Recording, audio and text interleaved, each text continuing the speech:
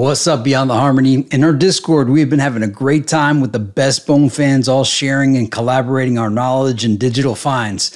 A couple of Skull and Crossroad members recently dropped a ton of rare magazine article scans on us, and I'll be turning them into videos as time permits.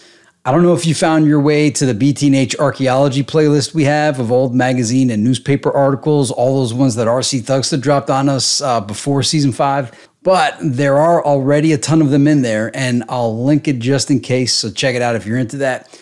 This one here is a short one from Yo Magazine. As time permits, I'll get the longer ones in here. But anyway, first, let's take a look at the magazine cover first, just to get an idea of the time period. All right, so it's Yo Magazine. I remember I used to get Yo Magazine and Rap Masters at Winn Dixie, which was a, a grocery store in Florida. But anyway, Yo Fresh magazine warning hazardous material contained inside. December 1996. Does Nas rule the rap world? Too short calls it quits. Page 14. The seductive side of rap. Smooth, LL, and Tupac prove that sex still sells. Coolio giving it up on page 29. Smooth, LL Cool J. Behind the scenes with crucial conflict. Whodini and the Dupree connection. In the mix with Bone, Sadat X, Lost Boyz, Busta Rhymes, Heather B, Heltah Skeltah, Passion, Delinquent Habits, and more. And Tupac right there on the cover. It looks like Tupac had just recently died in September, so this is about the third or fourth month in. Wow. All right, so for the article, Bone, In It Together, rumors were circulating that Bone Thugs-N-Harmony had broken up. And, of course, that's not true.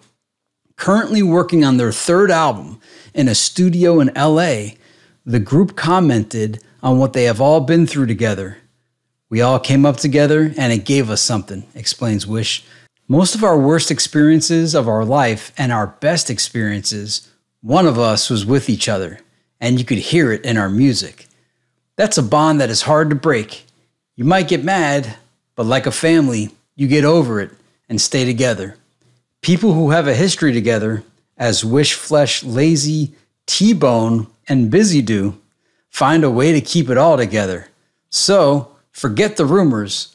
Bone Thugs-N-Harmony are a family. All right, so wait a minute here. So, Wish, Flesh, Layzie, T Bone, and Bizzy do. So, I guess T Bone is Krayzie Bone? All right. Well, this was uh, December 1996. That means Eternal had already come out. Art of War did not quite come out yet. And the group's already being talked about, rumored about being broken up. This is that famous picture with Easy E. This is the picture I saw that got me excited, not for a Bone album, but for an Easy E album. I thought Eazy was going to be on every song on Creeping on a Come Up. I was kind of disappointed when he was only on one song, but hey, it it was all good afterwards. So put that onto the timeline that by December 1996, Bone was already starting to break up in various ways. Interesting. That was Yo Magazine. I don't know if the person that gave me this article wants their name put out there, but thank you very much for the scan, your efforts, your purchase. On behalf of everybody at Beyond the Harmony, I'm Jonathan Lippe, and we'll see you next time.